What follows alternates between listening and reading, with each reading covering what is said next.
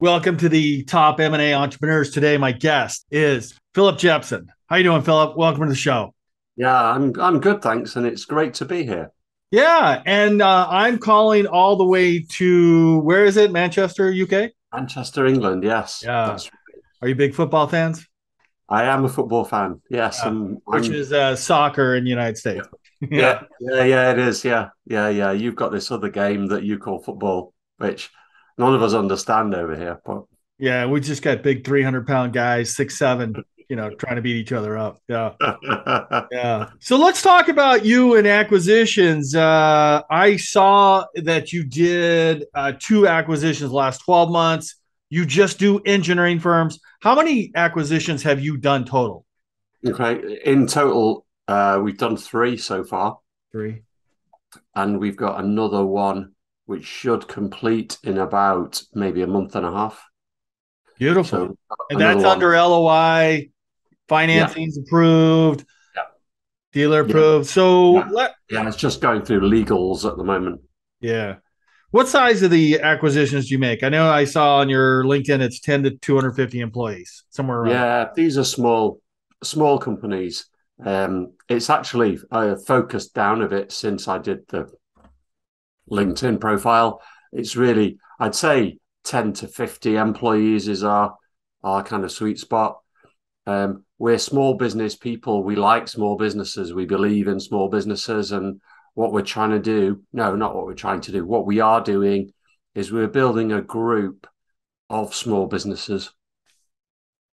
Yeah. Um, and more than that, actually, we believe in the importance of businesses that make stuff.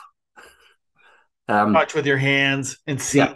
Yeah. Yeah. Particularly in countries like the UK, like the US, where the sexy stuff is all services, but services, being controversial here, services don't really add value. They don't create things. All they do is live off the backs of other people who do create things.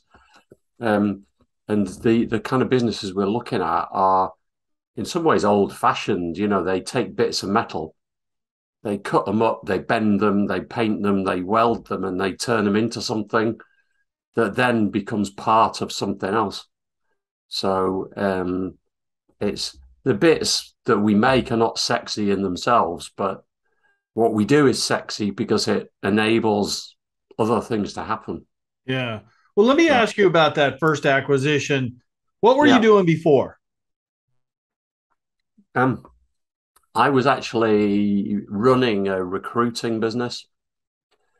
The the story, you know, sort of going back before that, I was a lawyer. That's what I'm trained as. A solicitor. Um, they call it yeah, solicitor, right? That's correct. Yes. Yeah. Yeah. Yeah. Yeah. That's correct. Um, and I used to do insurance defense litigation. That's that's what I did. Um, and basically, I got fed up with it. Um, I fell out of love with insurance companies and was looking around for something something to do where I could use what I'd learned and the connections I'd made, uh, but but not actually practicing law. So I ended up doing recruiting of lawyers. Yeah, that's different. Um, and I did a startup, um, which is what a lot of recruiters do. You know, you start with a desk and a telephone, and I did I did that whole thing. And at the same time, I also did an MBA, a part time MBA. So that really exposed me to business properly for the first time and business people. And um, I really enjoyed that. It was a great experience, but I never got to use a lot of the stuff I learned. Um, and over time, I kind of got, I was getting a bit bored because recruiting's great, but it's it's limiting. Um, so I started to look around for, you know, the next thing, and we actually looked at whether we could grow our recruiting business by acquisition, but we didn't know how. Uh, I had a partner at the time, and we talked about this. We discussed it, but we had no idea how to do it. We had no idea how to raise the money. We didn't know how these things worked, and in the end, we sort of gave up. Um, and then in 2019, I met this guy who who knew how to buy businesses and was actually sort of mentoring other people. um, in how to buy businesses, and I just went, "Oh, bloody hell, that's interesting." Yeah, who was that? Um, a chap called Guy Bartlett in the. He Guy lives in Bartlett. quite close to me in the northern UK.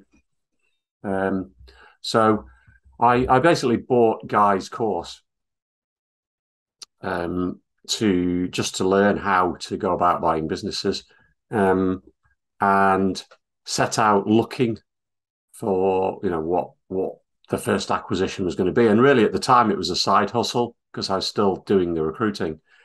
Um, and as I started looking around, I was going and, and visiting businesses that were for sale and uh, realized a couple of things. One, that there was a big market in retirement sales, um, which I think is a really good source of deals for people like me for Yeah. lots of reasons. Um, but also, I just, I'd only ever worked in services. So I'd never, I never really understood this thing about making stuff.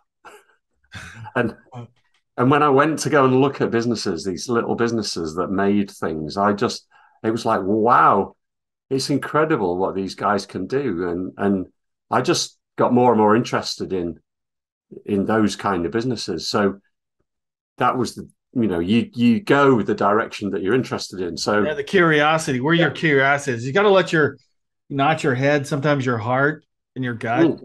lead you. Yeah. So yeah, so I just got got into that, and I was looking at a few different ones, but the, the, it just happened that the first one that actually came off was a, a, a little engineering business um, just outside Manchester. You know, about a million pounds revenue, ten in. Did you go? So how did you find it? You we actually visited or just saw it? sent Yeah, I found it. Uh, through, I found it through an accountant. It was networking. Networking. Um, I mean, I was at the time I was doing different things. I was looking at business broker websites. Um, I was networking with uh, accountants, lawyers, bankers, um, wealth managers. You know, f- trying to find their clients that might be wanting to sell. How was um, that conversation with them? I mean, most of the times in the United States, they are under a non-disclosure to talk about. Uh, Yeah, I mean, yes, and and I mean, in this case, he didn't come right out and say, "Oh, it's you know this business with this name in this place." He just said, "Look, we've got a client that's interested in selling his business. This is what it basically. This is what it does. It doesn't sound like your kind of thing, but I'm just mentioning it." And I went, "That sounds interesting." so let's have a look and you know signed the nda um had initial conversations and it sounded like a good little business um so went to have a look at it and that was when i went this could be it Yeah. What What did you know about asking for financials, cash flow statements, income statements, balance sheet? Did you I- have that ready to go, or was that? I was learning as i went. I mean i'd had the stuff from guy. He had like a there was some like training videos and uh, and some like specimen documents and he had like a a flow diagram Yeah. you know you do this then you do that then you do that. And that gave me something to follow which essentially works. I mean it's i'm still following pretty much the same process now. Um and it told me what to ask for it didn't tell me how to read them Right. how to interpret them, you know, and and that took me a while. That was just practice, um, and you know, you you you'd you'd see numbers in a statement, and then someone would say to you, "Well, don't you think that's a bit odd?" And you go, uh, "I don't know, is it?" I don't know why. Why would it be odd? I don't know. anything about And then- manufacturing. And then they'd explain, you know, they, they, they'd explain, well, you know, if this figure is this level, then that number shouldn't be that level. And it's like, oh, right, okay, yeah, yeah, yeah. So then obviously the next time you look at a, a- set of accounts, you know what, you know, you, you if you see the same thing that's again, a red go, flag, "Ah." right? You, you know, like your Ah, bot, yes, your your head starts going, okay, that's a red flag. Yeah. Yeah. So I've basically some of the stuff I've just taught myself through through just doing it, looking at probably hundreds of sets of accounts. You learn to read them quickly and you learn what normal looks like and you learn to pick out, you know, some, as you said, the red flags. So, yeah, yeah so we, um, we got into serious discussions with this business like early 2020. And then, of course, COVID hit. Ooh, yeah. So everything sort of shut down. So then it's what, you know, what do we do now? Yeah. Um, and I, I, in my life, I've, I've made some pretty stupid decisions at times, but actually, this was one of my better ones because I just thought, well, this is not going to last forever. Number one. Number two, it probably gives me an opportunity to negotiate a better deal. Uh huh. And number three, there's there's two things.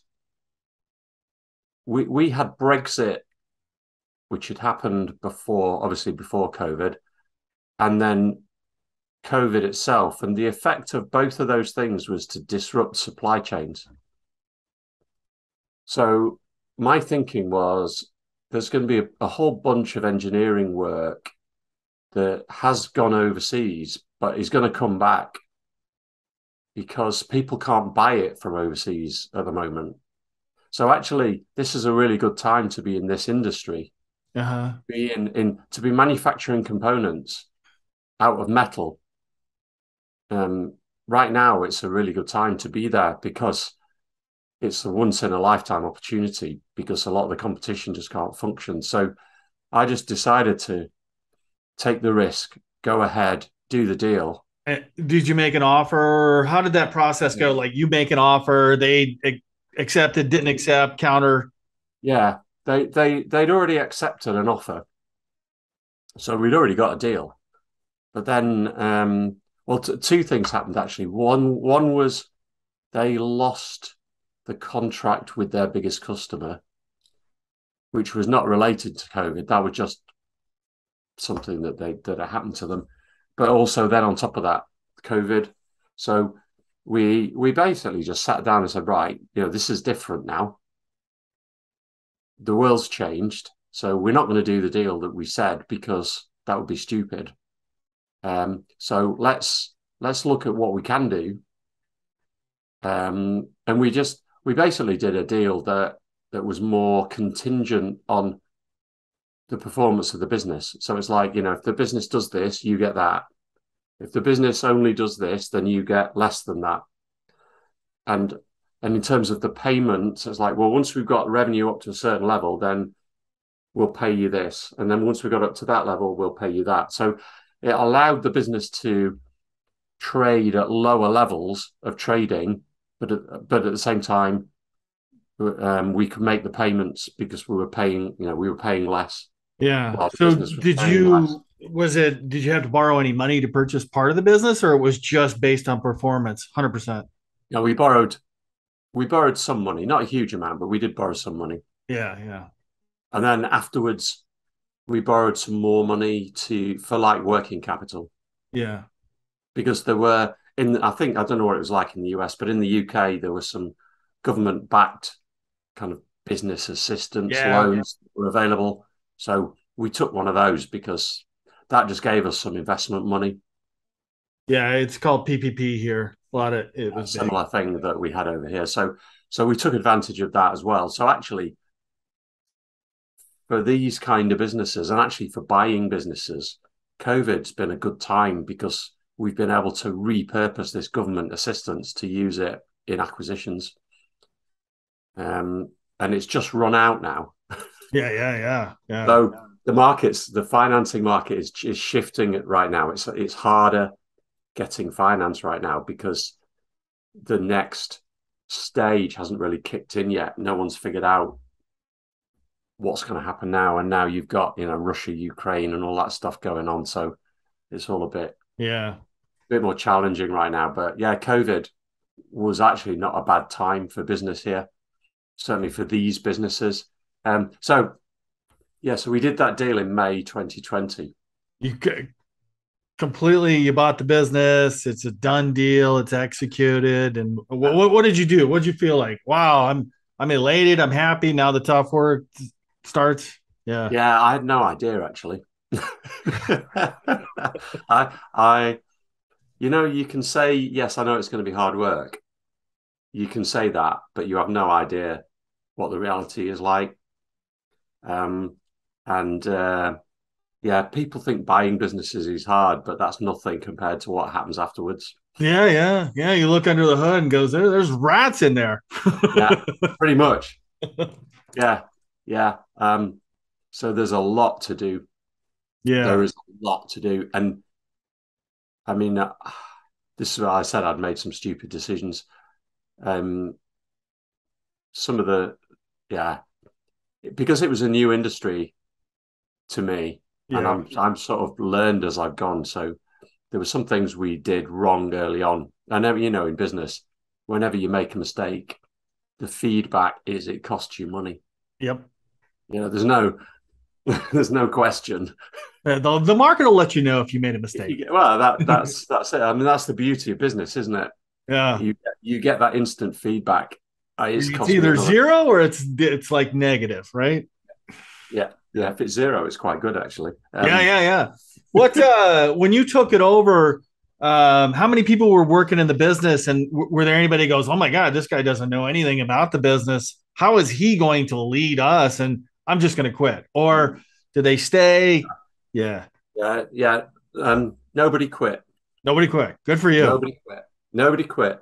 Um, the the way that the, the I mean, I've been through this three times now. The the the outgoing owners don't tell anyone in advance that they're selling the business. So literally, you turn up there one day, and you stand next to the the seller in front of the workforce, and the seller says, just want to let you know I've sold the business and these are the new owners. And it's like, what? What? What? Who the hell are these people and what are they going to do to us? So, yeah, um, and it's a it's a it is a sort of mix of shock and fear initially. It's it's yeah, panic for people having jobs. They go, oh, my, my well, and that's the thing, isn't it? Is my job safe? That's the first thing that goes through the head. Um, but what I've what I've found on the whole is that people, no, pretty, yeah, pretty much entirely, pre- people will give you a chance. I mean, they they get over the initial shock, and then it's like, okay, so come on, then, what are you going to do? Yeah, um, and they will they will give you a chance. And I mean, the the businesses that we're buying have some things in common.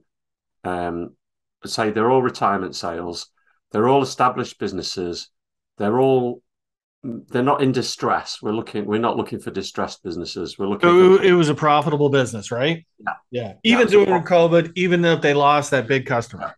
Yeah. Well, potentially the losing of the big customer would have made, would have put it into the red. Yeah. Oh, yeah, yeah. Okay. Yeah. Um, but apart from that, yeah, it was a good it was a good solid little business. So what did it make? What did you guys make? They um this is a what's called a CNC machining business. So basically they they take effectively little blocks of metal yeah. and they've got lathes and machines that then cut it into shapes basically and it forms components parts which then go into other machines or yeah. largely is parts of machinery um so it's all it, it's all around having machines which cut bits of metal. Yeah. I used to work for Autodesk a long time ago. They built CNC software. Yeah. Okay. Right. So yeah. So you understand it. Um, but um, the people, yeah. So the point was that, that these the businesses we're buying tend to be businesses which have got potential built into them which is not being realized by the current owners because the current owners getting towards retirement, they've lost their energy. They'll keep it as it is. They'll keep it on a level, but they're not going to push it on. Yeah, they're uh, they're kind of checking out, slowly yeah. checking out. Yeah. yeah. and the people who work there can see that. you know, and they can see the opportunities for it to be better. And they can see those things where the owner didn't want to spend the money to buy a new coffee machine for the canteen or, you know, didn't want to buy a new machine or didn't want to upgrade the software on the machine because it meant spending money and, you know, they, they just weren't in that frame of mind. So the, the guys who work there uh, are often more open than you think because when someone new comes in and goes right we want to take this business and we want to grow it. We want to make it better. We want to make it we want to take it forward into the future then um, they go oh, okay that sounds interesting. Well actually if you're talking about that well this doesn't work and we could do that over there and if you did this then that would be better so actually they they engage quite quickly on the whole, um, because they can see better than anybody what the problems are in the business. And if you know if if you're going to fix these problems, then that's just good news for them. So they actually get on board. And I mean, we'd we'd had this first business for about three months, and we got. I thought I need to tell them how we're doing. You know, let's get them together and just tell them what we think about what we've seen so far. And I got the guys together in the workshop, socially distanced, so they're all standing like two meters apart. And I said, you know, first three months, yeah, we've got challenges, but I just want to tell you all that I'm really impressed with you because you've you've you've not given us any trouble. You've come in, you've got your heads down, you've done the job. Really impressed with everything you've done. And one of the guys there, he had tears in his eyes. And he said, I've worked here 12 years. And that's the first time anyone's ever said that I've done a good job. Oh man, good for you. And it just, you know, so it's it's with a lot of these old fashioned businesses, you know, there's certain things they're, they're there's some things they're good at, there's some things they're not very good at. And people management, people development, training, all that sort of stuff, they're not good at. You know, marketing, sales, they're not good at. Technology, they're not good at. And that's all the areas that, I mean, we may not know much about engineering, but we know about that. Yeah. So that's that's really what we bring. And that's why these guys will engage with us because they can see that we bring a dimension that they haven't got.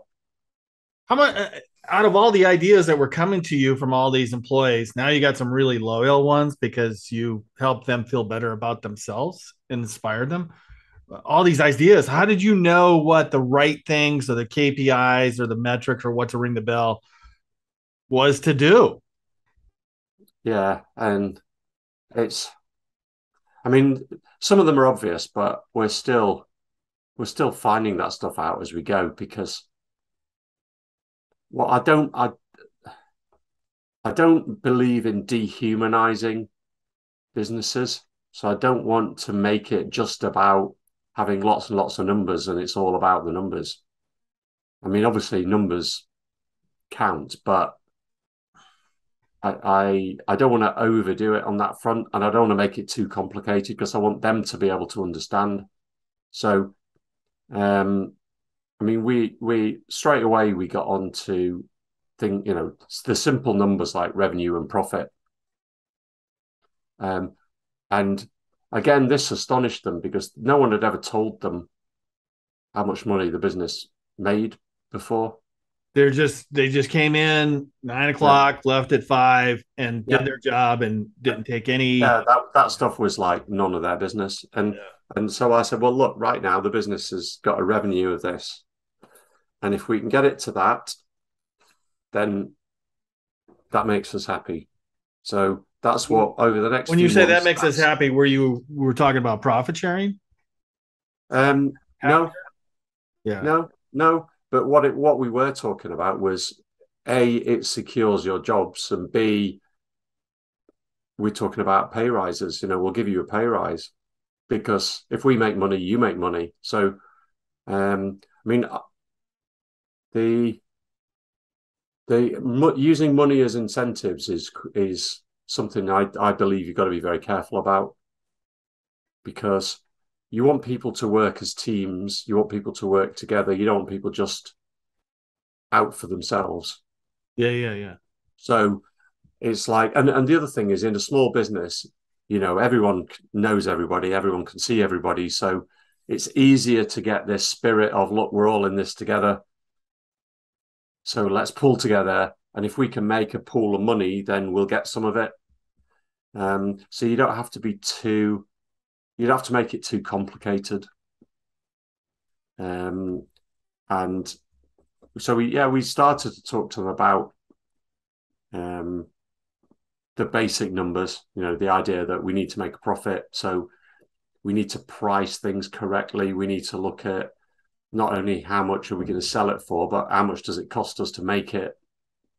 And you um, took this role, the like, just saying, "Hey, I, am going to be the number one sales guy, the the, the marketing guy," or or no, um, because the the the objective was always to build a group.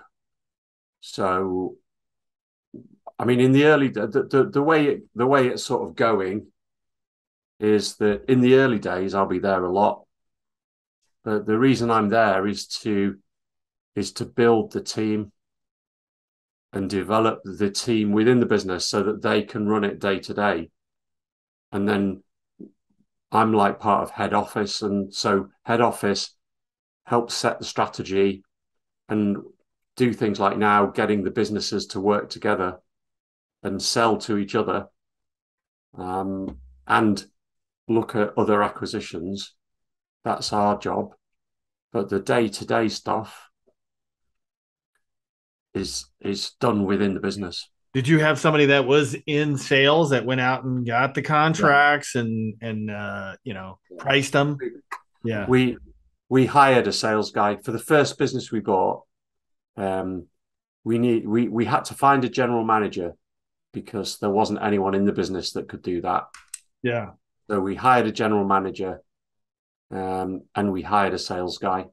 Did you do you have the cash flow that would support a new general manager we, and a sales guy, or we we had the cash flow to support the general manager, um, the other thing we had to find actually was an office manager because it was a husband and wife that had owned it before, and the wife ran yeah, the office. So the they left too. Okay, so uh, the husband was the engineer, so we had to replace both of them. So there was money in the budget for that. With the sales guy, um, I mean, my thinking there is if you get a half decent sales guy, they should more than pay for themselves. So they shouldn't really be a cost, otherwise they're not very good at selling. Right, right, right, right. Yeah. Well, uh, it, like I think it helped you being in HR recruiting. You knew how to go find people. Just a different industry, yeah. you knew how to find people, yeah. which was yeah. probably a benefit. Exactly. Yeah, yeah, and we've done quite well on recruiting actually. But as I say, it is something that we we understand, and we because we've done it before. Um, even though it's a different industry, as you say, you're more confident in hiring people just generally because you know how it goes, and at the end of it all, people are people. Yeah. So yeah. whether that's an engineer, or or whether it's a lawyer, or or you know whatever, there'll be good ones, bad ones, and indifferent ones. There'll be arrogant ones. There'll be really nice ones. There'll be productive ones and unproductive ones, and you've just got to ones that you uh, hire because you like look great, and then you have to let them go in a week because they did something. yeah, you, yeah, and ones that say they can do something and then you find out they can't. And, yeah. Oh, we've had. Oh, yeah, yeah. I got like the story a long time ago. I was working at a software company. We did about five million bucks. I wasn't the CEO, I was business development, and they hired this guy that fixed the network because he basically just reset it. he didn't do anything. He didn't program. He didn't fix anything. He just reset it. And then my boss hired him. And then a week later goes, man, you don't know what you're doing, do you? No, no, I, I don't. I I just reset. then okay, that's just like unplugging something and plugging it back in. Okay, uh, yeah. yeah. So, uh, what did you do? Uh, d- did you keep that big contract? Lose the contract? How's the business going since 2020? It's um, well, we we we kept some of it. Is the answer in the end? I mean, yeah. the the volume is down, but there is still some business from them. Yeah. Um, we're probably getting about half of what they were giving us before. Um, but um, an, an interesting twist of fate: the the company that replaced us has just gone bust. So it's quite likely that we're going to see more. they're they're looking for a, another supplier.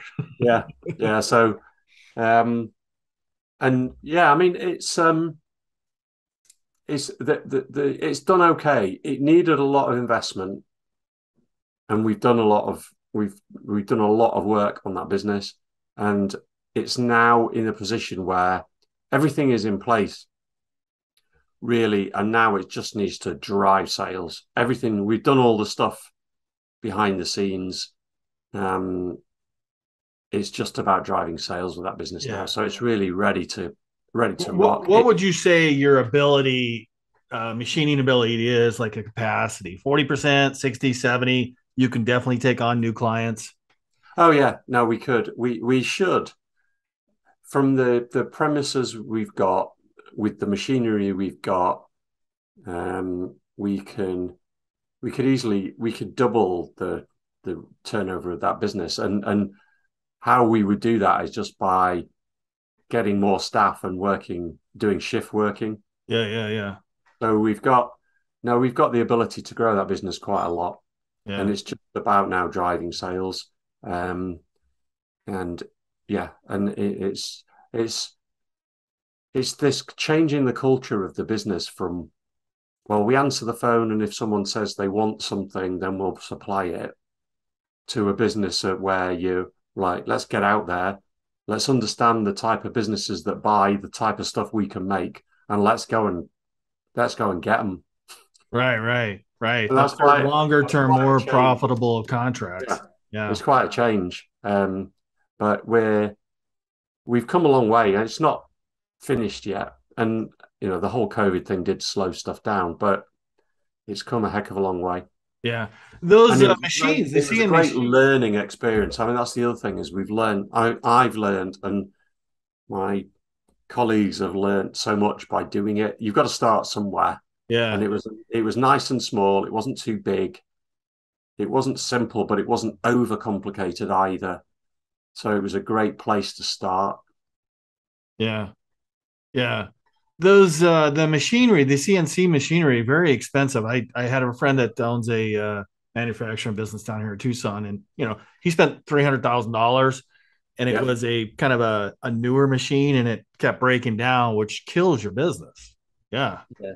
That is the problem. That is the thing with that business. It, it's you're relying on machinery, which is which is expensive, um, even the even the buying it used is is not cheap, and if you get a bad one, it's like buying cars. You know, you're buying a if you went out and bought a I don't know, say a 1980s Cadillac or a, or a Yugo, yeah, or a Yugo, yeah. There are some really good ones out there that will run forever, and then there was those that were made on a Friday, and you know you, you'll always have problems with it. And from the outside you can't tell the difference. Um, so you can just have bad luck with things like that with yeah. machines. Um, but we we we managed to get a couple of new machines which have which has worked out pretty well. A couple of new those are machines. financed right? Yes. Yeah. yeah. Yeah. Yeah. Yeah. And that's and that's the only way you like a lease it. do they do leases today they they yeah they do, or um, these are on hire purchase, so it's basically like a, a lease purchase type arrangement. So right. you pay like a lease for five years, and then at the end of it, you pay a small amount and you own it. Yeah. Um, so there's you can do that with that's a good. I mean, it, it's the only realistic way to buy that type of machinery. Yeah, yeah. There's just um, three hundred thousand. That'd be a, too much of a line item to uh, take out yeah. of a, a million yeah. pound business. Yeah, yeah. Oh, you, you could never do it. But um, you can pick up some decent used machinery as well. I mean, and uh, from businesses going out of business. well, businesses going out of businesses, and there are a whole load of like used used machine dealers that that you can get stuff from, and some of that stuff is really is is is very good. It's just like a few years old, but yeah. You Did you already um, talk to the uh the owners of the business that took over that contract and asking to buy them as distressed prices or what? Uh, yeah, that would be the entrepreneurial thing to do. The, the, the, what I've learned though is that I'm not, we're not set up to do those kind of deals. Yeah, yeah. Um, you need to have some, you need to have more cash available than we've got right now, and you've got to be very quick on your feet. You've got to move very fast. Um, and we flirted with it a couple of times, but we're just not, we're just not ready yet to do that kind of thing. Yeah. Um, you know, we're much better looking at a business where we've got a bit more time. Yeah. So uh, you you've got this business, you got the right people in the place, you're bringing in new business, uh, the right machines, everything is humming along and going by itself. At what point did you decide that I, I want to go acquire another business? Because you've done three and you did two in yeah. the last 12 months. We, yeah. We, yeah, I mean, and I started looking again, I don't know, probably within about three months, three to six months, three months probably actually. So we, I was looking almost before I was ready to do it because I know there's a time lag. I know it takes time, and and the other thing is if you if you stop prospecting, you lose all the momentum, and the pipeline just kind of disappears very quickly. So the more I'm sort of getting into this and understanding it, the more I realize you've got to keep the pipeline going. So, so like now with the most recent deal, we completed the deal, most recent deal in May, and I, I've the pipeline has just kept running. So that's why hopefully we'll do another one around about the end of September or mid October. Yeah. Um, and then we've got a couple more coming in behind that. And the more active you are, the more credible you are as well, especially if you do a couple of deals. You know, with people like brokers. I mean, I had some business brokers who in the early days wouldn't talk to me, you know, wouldn't allow us to engage in looking at their the businesses they had because it's like, well, there's loads of people out there like you. There's tire kickers. There's all over. Yeah. None of you have got any money. Why would we engage with you? Um, once you've done a couple of deals and you're talking to them on a regular basis, and you kind of sound like you know what you're doing, then it's like you've got that credibility then, but you've got to keep it going because they'll talk to you because they think you might just be the guy who's going to do the deal. So yeah. that's why they'll talk to you. So you, it means you've got to you've got to keep moving, you've got to keep going, and um, and we're geared up to do that now. I mean, we're still early stage, really, yeah, in what we want to build, but we you know we've got a core head office team of three people. Um, we've divided responsibilities between us, and it gives me the space to focus on the acquisitions and on on being the I'm like the the public face of it.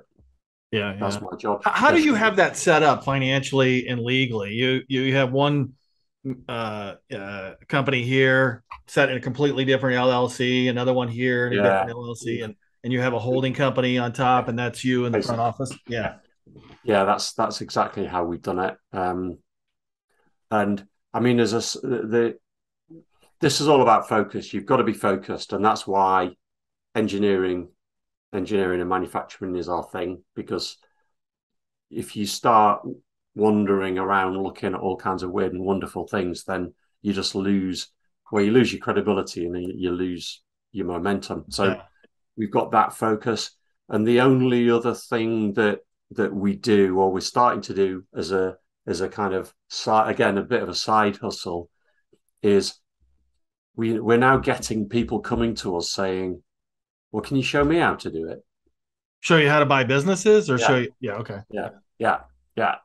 Um, and also some business owners coming to us and saying, "Well, look, I got this business, and I'm thinking I might want to sell it in three or four years. So, what should I do to get it ready? What, what, you know, for someone like you who's buying businesses, what would you pay money for?" So, we're getting both potential buyers and potential sellers talking to us a bit. So, we're just and I don't want to lose our focus by doing yeah, this. Do you think that's a distraction? Shiny yeah, well, core? Yeah I think we've got to be careful not to let it become a distraction. But um, what what we do is important. I mean, all right, you, you know, you want to make some money out of it, but we're actually doing something which is really important, which is helping these businesses survive into the next generation.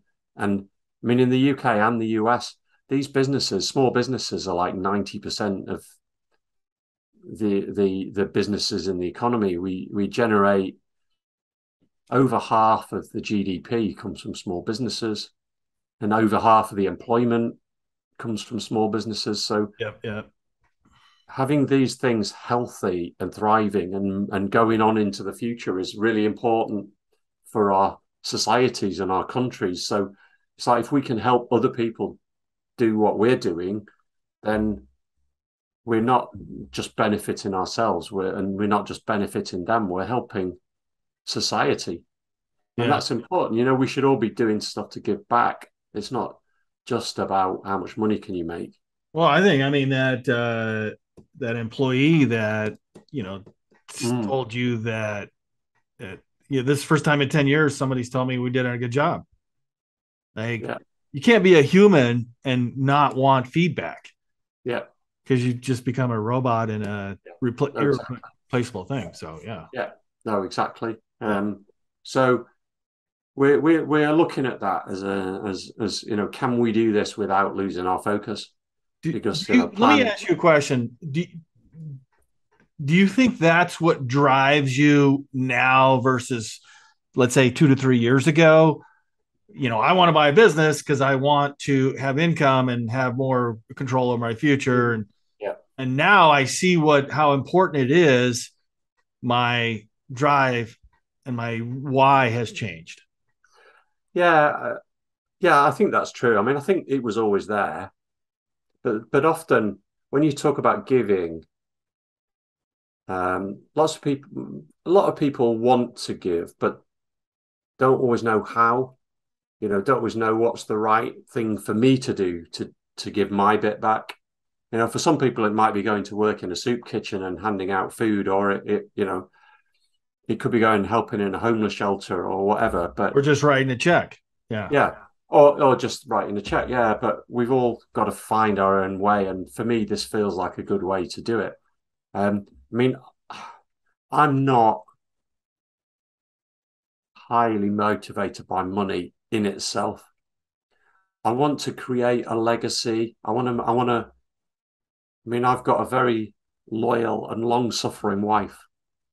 And I want to make sure that we've got enough money when when I want to retire that she never has to worry about money because she's stuck with me through a lot.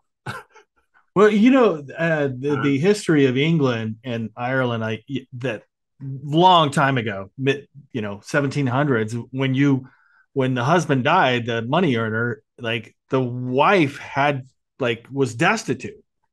Yeah. Yeah. Yeah. Yeah. Fortunately, these days, hopefully it shouldn't happen. But yeah. And, but I, it's, you know, it's important for me that she's taken care of and, and my kids as well. I mean, although yeah, they're both into M and A now, right? I saw some both, pictures. They're both, yeah, they're both. Certainly, my my son is my daughter's working with me. She's my partner in this venture. My son is more successful than us, but we'll catch him up. Um, hey, let me let me ask you about the uh, the acquisitions, like the three. Was there a plan to a strategic plan where they uh, and let me give you an example when I worked for Autodesk as a software company, they started buying 3D packages and they found that 3D animation packages, even two competing ones, were at to the customers in different process in the production cycle. Mm, yeah. So you know they bought uh, uh, uh, one software company and they bought another one because they were two different. They th- for ten years they were competing against each other, or they so they thought but they understood that when they looked at the where their customers were using them, they were in yeah. two different production cycles. Yeah. And, yeah. and the answer is yes. That's what we're doing. Is yeah. is we're we're like making a jigsaw. So we're looking for things which fit together and which add to the add to the whole. Um, so with each business, each business we're looking at now, the question is how does that sit alongside what we've got already? What does it add? So what can we do if we had this business we couldn't do before? Um, and and also how can this trade with the businesses that we've got already? Because that's really important as well. So, material yeah. trades, you mean like buying yeah. material? Yeah. Yeah. Yeah. Buying stuff from each other because within these kind of engineering and manufacturing businesses, they all need to buy parts and raw materials in and they're all doing something to them and then selling them. And there's lots of opportunities to to do stuff together. So um, that's that's quite important. And then I mean the plan, and it, I mean it's not it's not rocket science, and there's no problem with sharing this. The plan is that we we have a, we end up with a set of basic engineering companies. So we've got our CNC machining business, we've got a fabricating business. I'd love to have a plastic injection molding business, maybe a business that does electrical controls. They're your core businesses that sit at the bottom of the pyramid. Yeah. And on top of that, I want to find some manufacturing businesses that then buy components from the businesses on the bottom. Uh-huh. That supply got, those businesses yeah. or so or, or sell the business, sell the yeah. products. Yes. Yeah. yeah. So you've got some vertical integration. Um, and then I want a design capability. Because like a draft in engineering yeah. that would use AutoCAD, right? Yeah, and then we can design our own products. Um, because at the moment, all the stuff we're doing in the businesses we've got is subcontract work. So we're making components for other people. We don't really have our own standalone products. Um, and I want to have some stuff we can take direct to market, not just selling elements to other people or somebody else's design. Yeah, yeah. yeah. So um, whether it's B two B or B two C, um, it's interesting because I mean, the business we bought most recently, fabricating business, they make stuff out of metal tubes. Um, if you look at a lot of furniture, certainly in the UK now, there's everyone's big into this industrial style furniture. Um, and you see it a lot in bars and restaurants. You see it a lot in houses as well, where it's basically steel. It's bits of steel that are welded yeah, yeah. together, and then it's either got some glass or some wood in it or on it, and it sells for sometimes quite a lot of money. Yeah. Um, so why, why not sell it direct and you yeah, take a bigger portion of that? Right. Yeah, we can make it. So what we need is the designer who can come in and, and do the sexy the sexy product range. We can make the stuff and sell it. And then you're just more you're then more in control, aren't you? Of and it's another element, yeah. it's another string to your bow. So so that's I mean that's the planning. Yeah. Hey, let me ask you about this. I don't have a lot of time left because an hour's gone by. Where do you keep the inspiration going? I know that it looks like you're in a mastermind. JT Foxx is. I just connected with JT Foxx uh, like oh, three, four, five months ago. I think. Yeah. Uh, he reached out to me, so cool. Okay.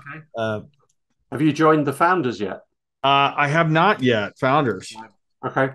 Offline, offline, we'll have a conversation. But um, yeah, I mean, JT Foxx and what he has done for me has given me.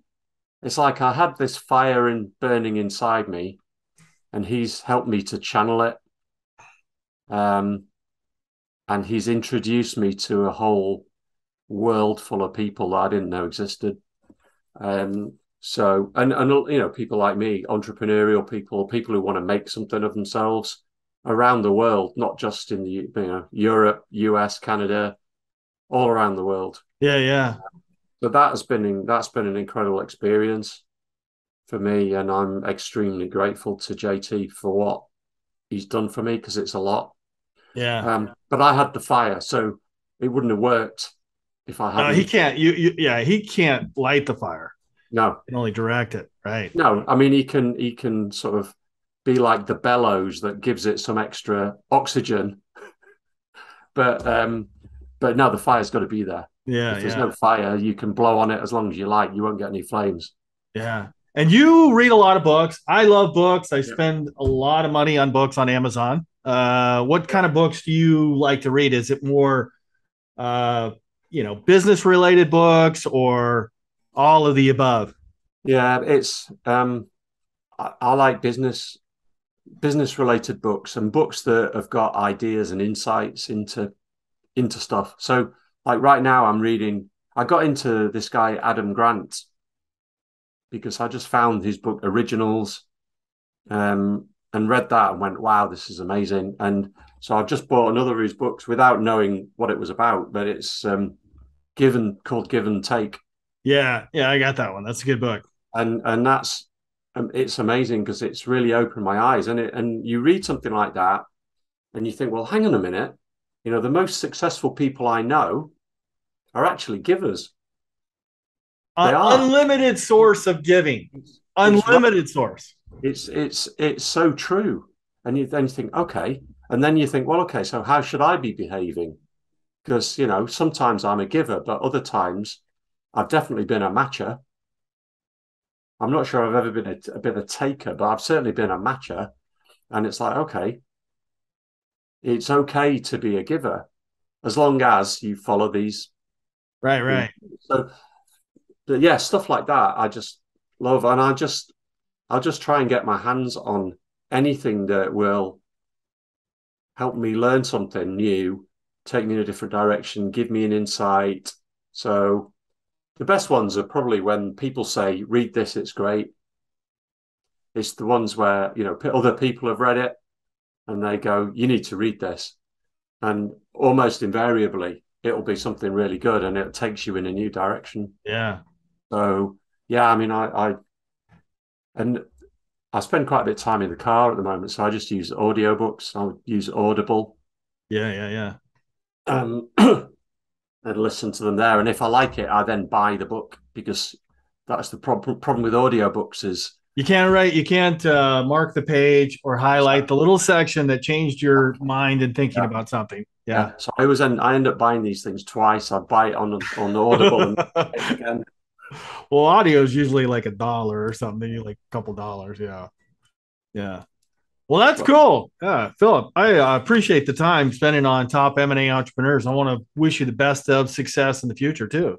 Yeah. Yeah. Thank you. It's been, it's been really cool to be here and um, have a chance to talk about it all and to meet you. And yeah, it's been really good. Maybe someday we'll get to meet each other. I did uh, a couple years ago. I was trying to buy a business in uh, England, London, and I uh, flew over there to try to make a deal. It fell through, but I enjoyed being there for a couple days. I love Arizona. So I've been to Arizona a couple of times. So I, I will be. I'm well. I'm coming to the. I've been to the US. I think three times since September. I'll be in the US again in November. Yeah, so, I said the weather in uh, England, London is the exact opposite of what it looks like in Phoenix and Tucson. you get like, my God, it's sunlight all day. I want to thank you so much, very much, Philip. It's been great to be here. Thank All you, right, Jon. Take care. Okay. Thanks right, a lot. Bye. Bye.